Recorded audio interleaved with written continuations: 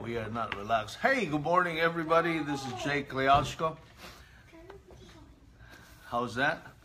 We are live this morning of Tuesday, September 5. What's going on on the table? Okay, well, uh, sorry we're a little late today. I'm just booting up my uh, my gadgets because we're a little slow today. Okay, abracadabra, this thing doesn't want to go on. Uh, how was your Labor Day weekend?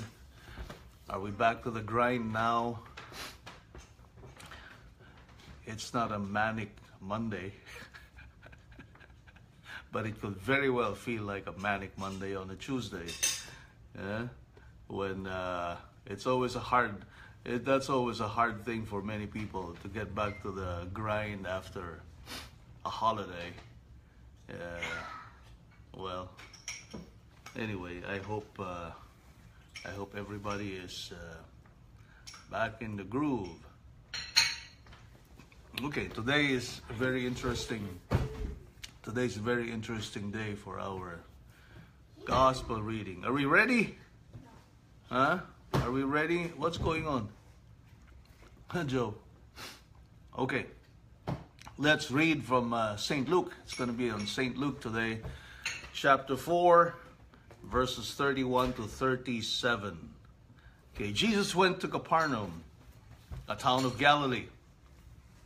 Okay, he taught them on the Sabbath, and they were astonished at his teaching because he spoke with authority.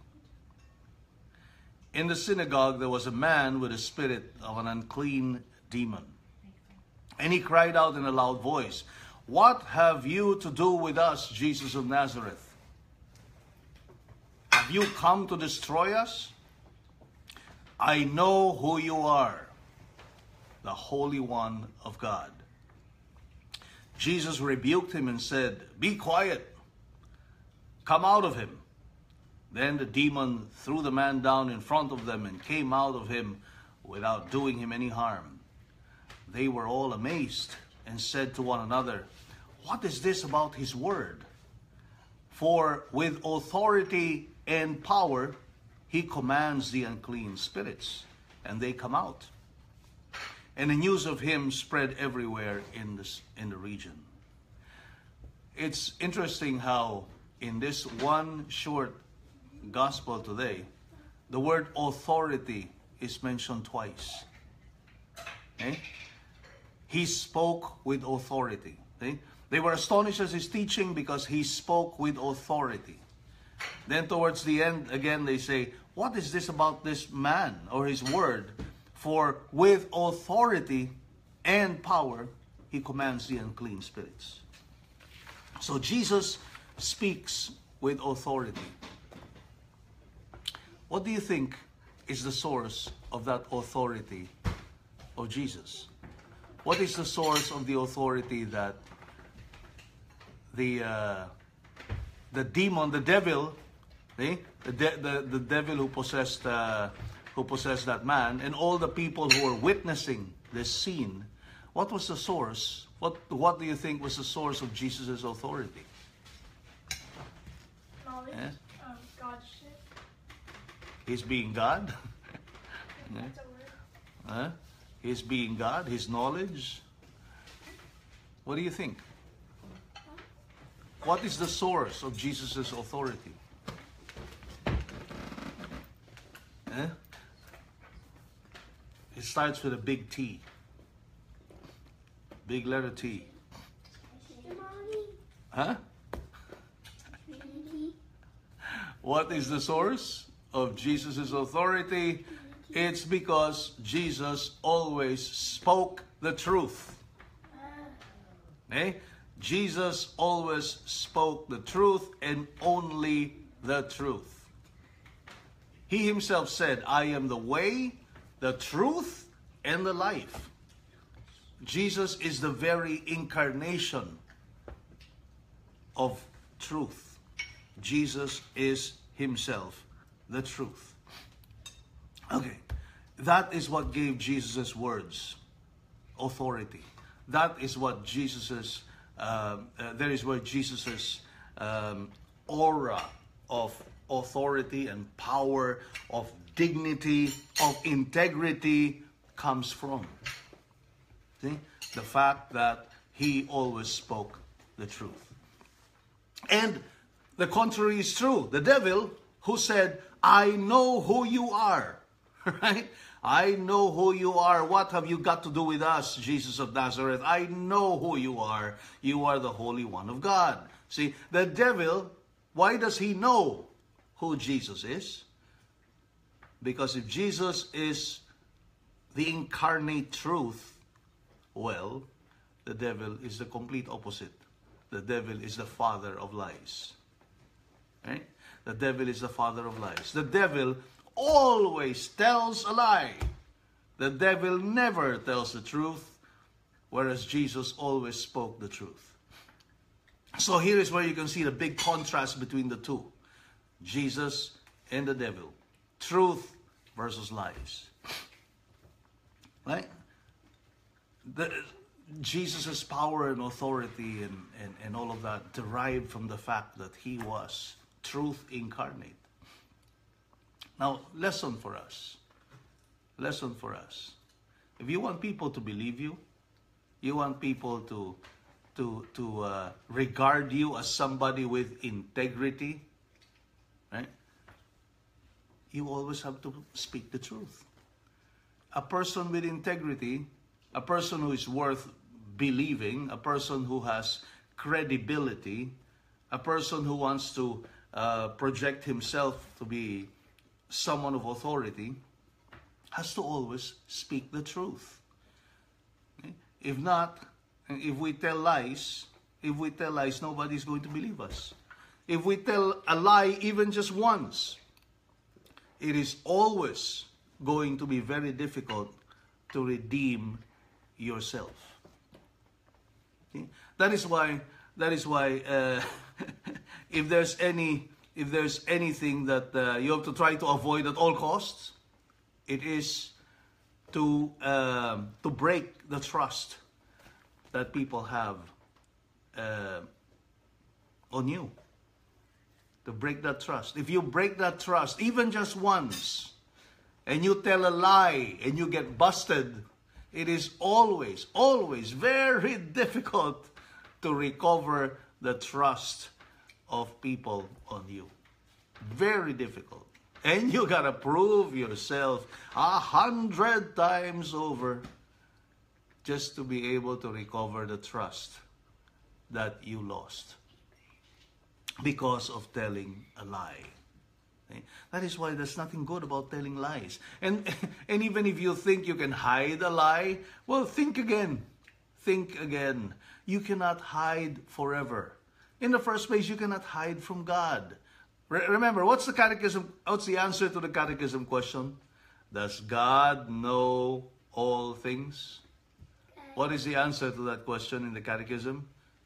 God knows all things, even our most secret No. thoughts, words, deeds, and actions. Very good, Sophia. Very good, right? Does God know all things? Yes, God knows all things, even our most secret thoughts, words, and actions. See? God knows all things. So who are you hiding from if you try to tell a lie? Right? You cannot hide from anyone. And by the way, right? You don't have to be God to know all things, right? Papa always busts your lies, don't I? I can always tell who's telling the truth, who's telling a lie. You can eh, because you know what? I- I- I- the truth of the matter is to tell a lie requires plenty of effort to do. It's very stressful to tell a lie. Why? Because you have to remember all the details of your lies to appear consistent with all the other lies you have told. it, and it shows in your face. It shows in the way you look. It shows in your demeanor, in the way you act. You don't have to be a psychologist to tell that people are lying. You can see it in their eyes. You can see it in their eyes. You can see it in the way they do things. You can see it in the way they even smile. They smile like, uh, I don't know, the devilish smile of the devil.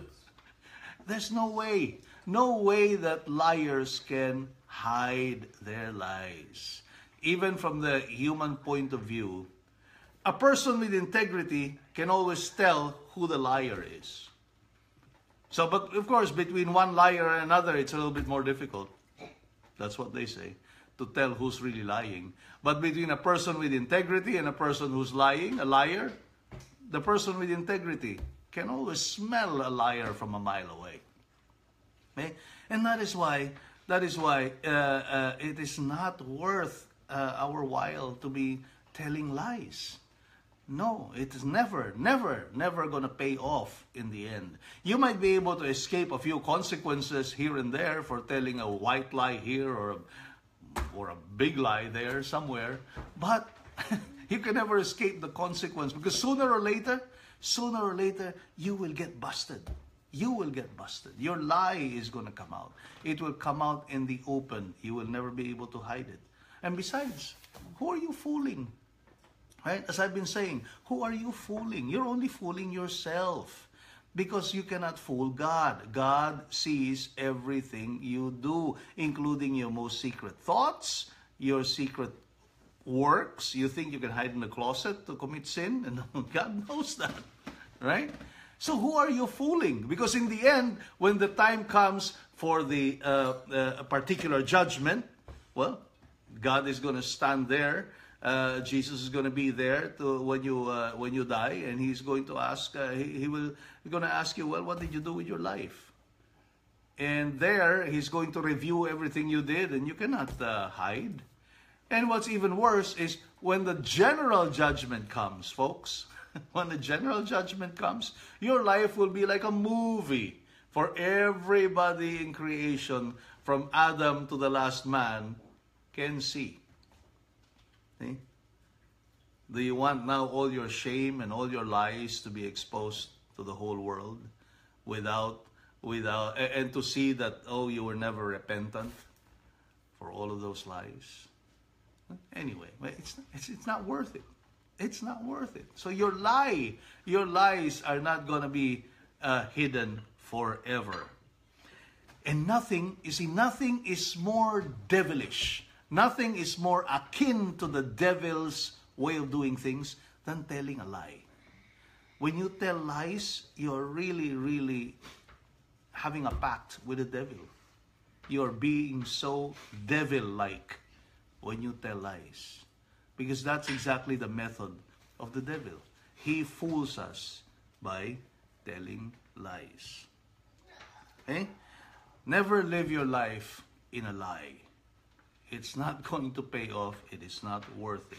And there's no such thing as a small lie, by the way. Okay? This this saying, oh, it's just a white lie. Oh, you can let that slide. Nobody's going to notice. Well, no. All of those have big consequences on your soul. It may not have uh, it may not have as big a consequence uh, in terms of the the uh, physical world we live in and uh, you know our, at our work or the family etc it may not have as big a consequence but you know what any small scar that you cause in your soul because of a lie does not heal that fast it will grow and grow and grow and grow it becomes a cancer and once your whole being and your whole soul gets engulfed in plenty of lies it's going to be harder and harder to cure it. It's going to get harder and harder to get out of that life of lies. And you're only making your own integrity suffer. You're making your own honor suffer. And when that happens, time will come when nobody will trust you anymore. Nobody, but nobody will trust you anymore. And sometimes, even if your family loves you, if you've been lying to even to your own family, they just cannot trust you. And they won't trust you, and you will suffer the consequence of all of that. Even if they love you. They may love you, but loving you doesn't necessarily translate into trusting you. See? So let's be very, very careful with every thought, word, and deed. Let us always act, think, and do things out of truth, for the truth, to defend the truth, to speak the truth, to act according to the truth, following Jesus, who is the way, the truth, and the life. And your life is going to be a lot better. I guarantee it. Okay, folks, that's it for us today. Have a good uh, Tuesday. It's going to be a terribly busy day in the Kleachko household today. Plenty of running around, plenty of doing things, but let's all do everything for the greater glory and honor of God. There's no bigger motivation for our work, as we saw yesterday, and for anything to, that we do than for doing it for the love of God and doing it for the greater glory, glory and honor of God. Bye. Till tomorrow. Have a good day.